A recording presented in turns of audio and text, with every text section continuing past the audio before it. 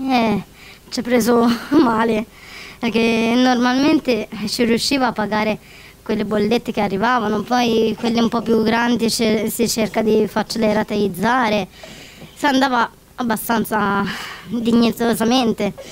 Però questa bolletta ultima, 900, 500, tutto insieme, noi siamo sempre regolari, cioè eh, quello che si può si paga veloce, oppure eh, le difficoltà ci sono. Però tutto insieme così ci è crollata proprio a terra. È dal 28 febbraio che questa famiglia, retina tre adulti e un bambino in tenera età, è senza corrente e senza acqua. Infatti in camera c'ha tre o quattro coperte pur di tenerlo al caldo. Impossibile sostenere le maxi bollette di Estra anche se rateizzata e così è arrivato il distacco. Cioè ci hanno detto no, finché non pagate tutto noi non ti si riaccende la luce. La prima mail a Estra viene inviata il primo marzo, poi la famiglia monoreddito si rivolge a Federconsumatori.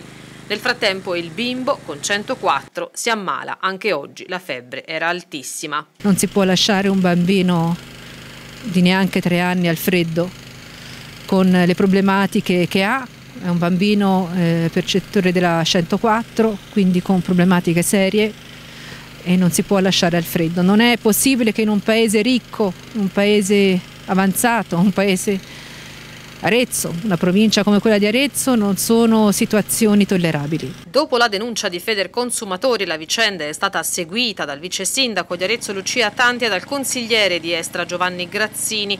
In serata arriva un generatore. Ora eh, la protezione civile è intervenuta anche tramite il, il comune di Arezzo, ha portato un, un generatore, è una soluzione tampone, entrata in funzione pochi minuti fa. Da Estra una nota ufficiale con la quale annuncia che la fornitura è stata riattivata ed è stato chiesto ad E-Distribuzione di ripristinare il tutto. Noi assolutamente stiamo verificando se ci siano gli estremi per l'interruzione del pubblico servizio. Hanno ricevuto bollette stratosferiche, bolletta bimestrale per 900 euro, un crescendo di costi insostenibili per qualsiasi famiglia, a maggior ragione insostenibili una famiglia che ha queste fragilità, famiglia di lavoratori di persone che hanno sempre cercato di adempiere alle proprie obbligazioni ma che non, non ce la fanno più, non ce la fanno assolutamente.